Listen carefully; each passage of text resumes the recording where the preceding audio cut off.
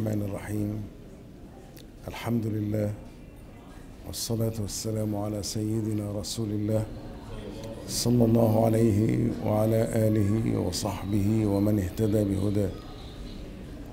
وبعد نحن نواصل الحديث عن حج. القرآن الكريم يتكلم عن حج بيت الله ولله على الناس حج البيت من استطاع إليه سبيل. معروف. فيبقى بيان إجمالي. لكن كيف تحج البيت؟ تذهب إليه مجرد الذهاب؟ إليه؟ هقول فيه ذهاب إلى البيت. وفي طواف بالبيت وليطوفوا بالبيت العتيق. في موجود. بالنسبة لعرفات الوقوف بعرفة. القرآن قال فإذا أفضتم من عرفات فاذكروا الله عند المشعر الحرام واذكروه كما هداكم كنتم قبل من الضالين. فهذه أيضا بيانات مجملة فيها لأن متى يكون الموقف في عرفات؟ ومن أين من من من, من أين يبدأ؟ وإلى أين ينتهي؟ يعني متى يبدأ وقت الوقوف بعرفة؟ ومتى ينتهي وقت الوقوف بعرفة؟ لم يرد في القرآن الكريم قال فإذا أفضتم من عرفات. لو إحنا خدنا عرفات على أنها الموقف الجبل جبل جبال عرفات عليها طيب هل يكون الوقوف في عرفه في يوم عرفة ولا في غير يوم عرفة؟ هو سمي يوم عرفة باعتبار أننا نقف في هذا اليوم على جبل عرفات. وبالتالي فالمكان الأصل ولذلك ربنا قال عرفات ما قالش عرفة لأن قطع الجبل المتعددة أو بقاع الجبل المتعددة. فبالنسبة لذكر عرفات لم يحدد بداية وقت الموقف ولا نهاية الموقف كما أنه لم يحدد الزمان وإن ذكر المكان. تأتي السنة النبوية المطهرة لتبين أنه من زوال الشمس وقت الظهر يعني إلى طلوع الفجر من يوم النحر. وأن من أتى عرفات بليل أو بنهار ووقف يبقى معناها أنه أدرك الحج. هذه الأمور واضحة ويتوارثها المسلمون جيلا بعد جيل مما يبين أن السنة النبوية بالفعل بيان لما أجمله القرآن الكريم. وإن كان القرآن الكريم في نفسه بيان فهو بيان إجمالي وليس بيانا تفصيليا.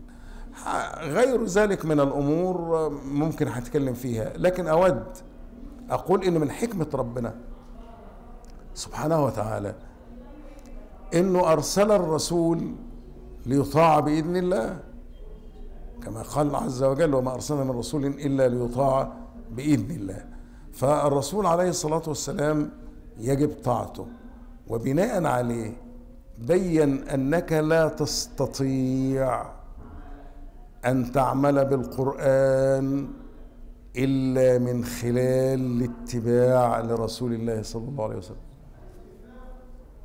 لا يمكن أن تؤدي صلاة إلا بالصلاة التي عرفنا إياها رسول الله صلى الله عليه وسلم. صلوا كما رأيتموني أصلي وغيرها. كذلك لا يمكن أن تؤدي الزكاة ولا أن تؤدي الصيام ولا أن تؤدي الحج إلا كما علمنا رسول الله صلى الله عليه وسلم.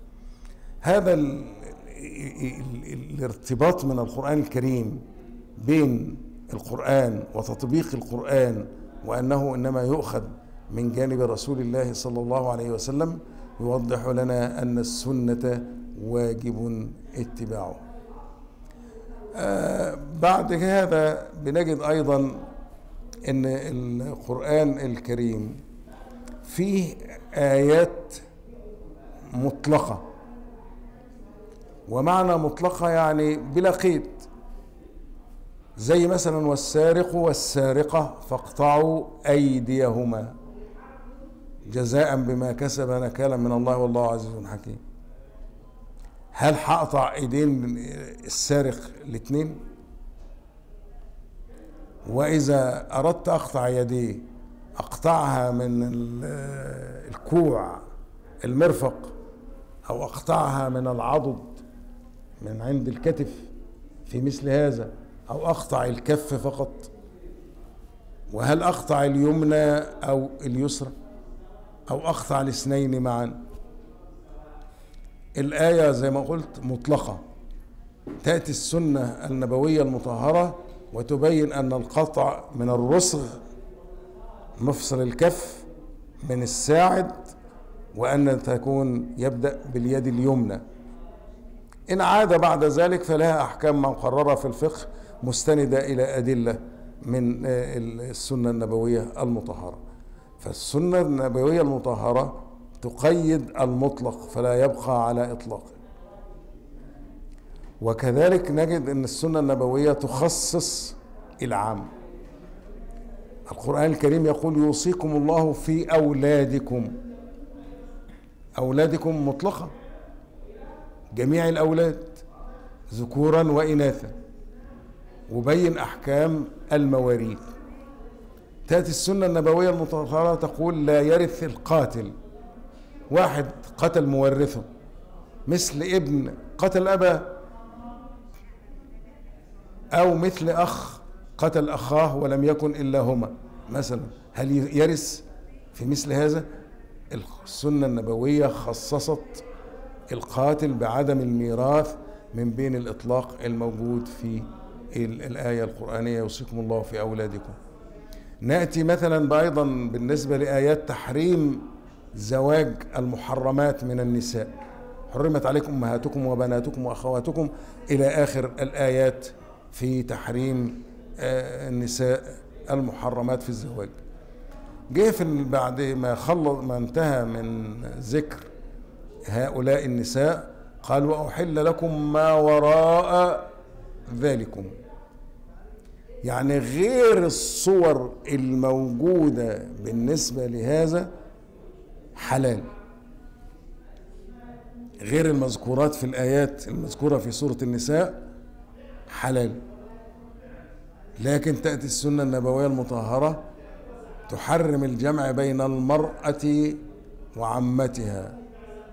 والمرأة وخالتها. بالنسبة لهذا والأحاديث صحيحه في هذا المعنى فيبقى معناها أيضا استثنى من هذا الإطلاق أو من هذا التعميم استثنى حالة من الحالات مما يدل على أن السنة النبوية المطهرة تبين أو تفصل ما أجمل في القرآن الكريم. ورد طبعا بعض الآيات القرآنية اللي كان الصحابة يعني يرتعدون من قراءتها أو من سماعها خوفا من الله عز وجل أو خوفا من العاقبة من النهاية من المصير. مثل قول الله تعالى الذين آمنوا ولم يلبسوا إيمانهم بظلم الذين آمنوا ولم يلبسوا إيمانهم بظلم أولئك لهم الأمن وهم مهتدون. هذه الآية بالنسبة لها حين تقول ولم يلبسوا إيمانهم بظلم. الإنسان إذا فاتته فاته وقت صلاة من الصلوات الخمس. ظلم نفسه. الإنسان إذا أخذ من مال الغير بغير طيب نفسه قليلا أو كثيرا ظلم نفسه. فيبقى معناها إن الإنسان لا يسلم من أن يظلم نفسه وقتا ما من الأوقات. وبناء عليه يبقى ما فيش حد له أمن. فقالوا للرسول عليه الصلاة والسلام يا رسول الله وأينا لم يلبس إيمانه بظلم؟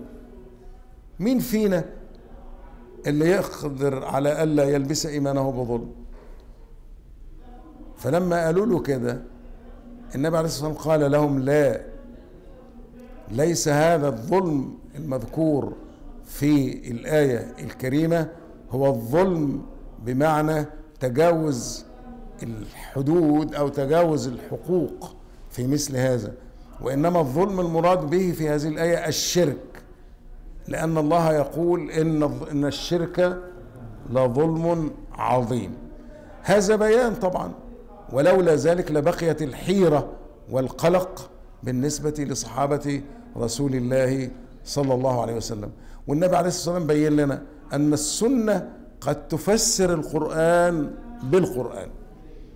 المهم أن هذه الدعوة التي يدعيها من يزعمون أنهم ينتسبون إلى القرآن ولا يأخذون بالسنة النبوية المطهرة دعوة خطيرة جدا لأنها في النهاية تهدف إلى أن يغم فهم معاني القرآن الكريم على المسلمين.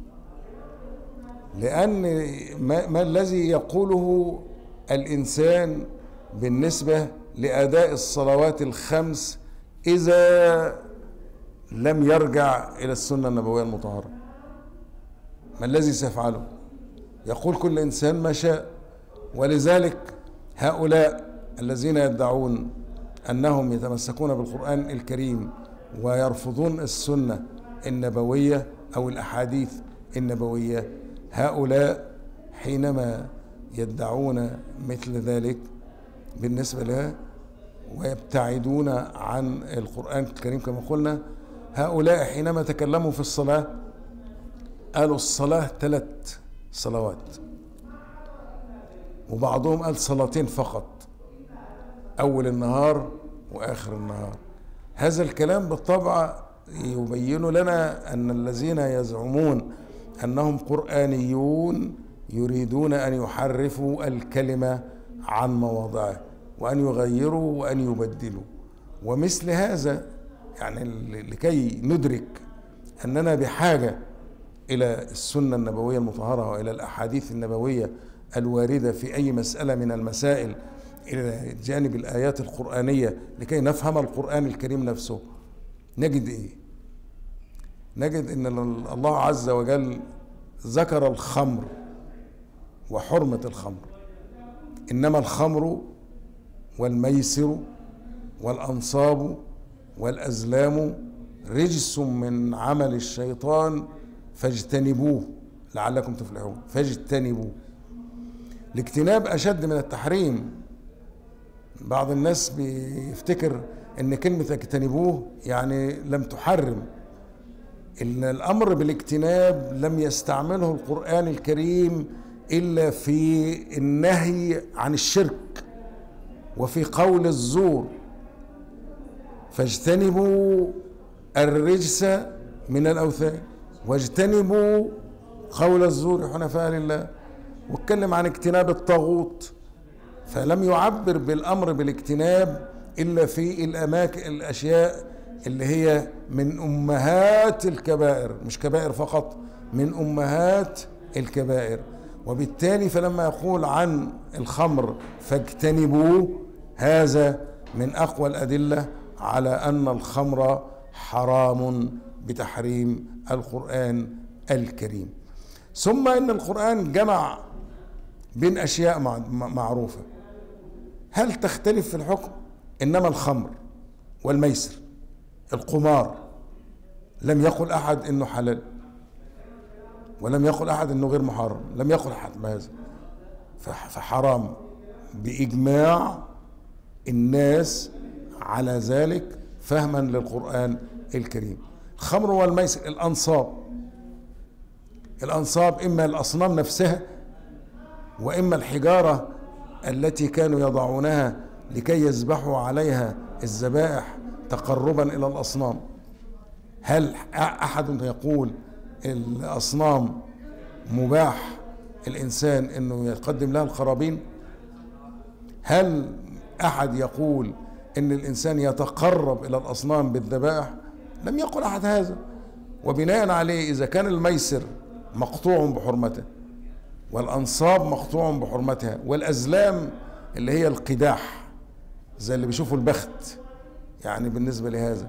فإذا كان هذه الأمور من المحرمات بيقين عند كثير من الناس فالخمر أيضا لا بد أن تكون مثل هذه الأشياء بحكم الاقتران في الذكر وفي حكم واحد الخمر والميسر والأنصاب والأزلام رجس من عمل الشيطان. فبناء عليه من يأتي بعض الناس ويدعي أن القرآن نفسه بين بعد هذه الآية أن المسألة على حسب زي ما كما يقول البعض حسب نيتك حسب اتجاهك حسب يعني الهدف اللي من ورائه بتشرب هذه الخمر. يأتي إلى الآية ليس على الذين آمنوا وعملوا الصالحات جناح فيما طعموا. ليس على الذين آمنوا وعملوا الصالحات جناح فيما طعموا. إذا ما اتقوا وآمنوا وعملوا الصالحات ثم اتقوا وآمنوا ثم اتقوا وأحسنوا. يقول لك أنا من المتقين. أنا أحسن علاقتي بالله عز وجل. وبناء عليه يبقى ليس عليه جناح فيما طعم بالنسبة لهذا هذه الآية لو لم نلجأ إلى أسباب النزول وإلى ما ورد في السنة النبوية المطهرة أو في الأحاديث المروية عن الرسول صلى الله عليه وسلم لو لم نلجأ إلى مثل هذا يظل المعنى مبهما. يظل المعنى أو الحكم كما يدعي هؤلاء وكما يريدون فبينت سبب النزول الآية إن لما حرمت الخمر فاجتنبوه والصحابة يعني أهرقوا كل ما لديهم من خمور لما نزلت الآية آه، يعني فيها إنما يريد الشيطان أن يوقع بينكم العداوة والبغضاء في الخمر والميسر ويصدكم عن ذكر الله وعن الصلاة. فهل أنتم منتهون؟ فهموا أن فهل أنتم منتهون؟ تهديد. فكلهم أسرعوا إلى إراقة ما لديهم من خمور وقالوا انتهينا يا رب. فيها. لكن الصحابة رضوان الله عليهم كان بعضهم حريصا على بعض. واحد منهم حريص على التاني. فهم قد رأوا إخوانهم شربوا الخمر. وبعضهم مات وفي فمه الخمر. وطبعا في قصة معروفة بالنسبة لسيد الشهداء حمزة بن عبد المطلب رضي الله عنه وأرضاه آه، قصة معروفة. والآيات لما راحوا اشتكوا للنبي عليه الصلاة والسلام إن بعضنا أو إن إخواننا ماتوا وفي فمهم الخمر. فحكمهم إيه؟ يبقى الخمر إذا حرمت فاهمين إنهم ممكن يعذبون بما شربوه من الخمر. فنزلت الآية لتبين أن السابقين الذين ماتوا قبل أن ينزل تحريم الخمر ليس عليهم جناح. الله عز وجل يعفيهم من المساءلة بالنسبة لهذا لأنهم لم يكونوا قد كلفوا بالامتناع عن شرب الخمر. أنا أردت بهذا أن أقول إن الحجج أو الشبه الواهية التي يلجأ إليها بعض الناس إنما يريدون أن يلبسوا علينا أمر ديننا. وبناء على هذا نفهم أن السنة النبوية المطهرة أساس وأصل. وكما ذكرت قبل ذلك في الدروس الماضية فيها العلماء يقولون السنة هي الأصل الثاني للتشريع. يعني الأصل الأول القرآن الكريم الأصل الثاني السنة النبوية بعض مشايخنا. جزاهم الله كل خير. وأيضا استمدادا من أقوال الأئمة السابقين. قالوا القرآن هو الأصل والأساس. طبعا كلنا متفقون على هذا. السنة النبوية المطهرة مثلها مثل القرآن في الالتزام بها. في الالتزام بها والعمل بمقتضاها. فهي كالقرآن في ذلك سواء بسواء. لكن الفارق إن القرآن معجز كما انه منهج الرسالة هو أيضا معجزة من المعجزات في مواقف متعددة معروفة فهو معجزة إلى جانب هذا. لا يأتيه الباطل من بين يديه ولا مخالف محفوظ بحفظ الله. السنة النبوية المطهرة العمل بمقتضاها يلزمنا كما يلزمنا العمل بمقتضى القرآن الكريم. لكن السنة النبوية ليست معجزة لأنها كلام البشر والرواة كانوا يروونها أيضا بالمعنى. لا يروون الألفاظ بنصها وفصها كما نقلها كما الرسول عليه الصلاة والسلام. وإنما كانوا من أجل أن يكون هناك سهولة في التبليغ ونقل السنة إلى الآخرين أن يكون الرواية بالمعنى فيها رخصة بالنسبة لهم. فبالتالي السنة النبوية المطهرة ألفاظها ليست معجزة بالنسبة لهذا. ده هذا المعنى فيما يتصل بالالتزام بالسنة النبوية المطهرة وندعو الله عز وجل أن يرزقنا الفقه في ديننا. والتمسك بسنة نبينا وأن يعلمنا ما لم يكن نعلم وأن ينفعنا بما علمنا وأن يجعلنا هداة مهديين وصلى الله وسلم وبارك على سيدنا محمد وعلى آله وصحبه أجمعين.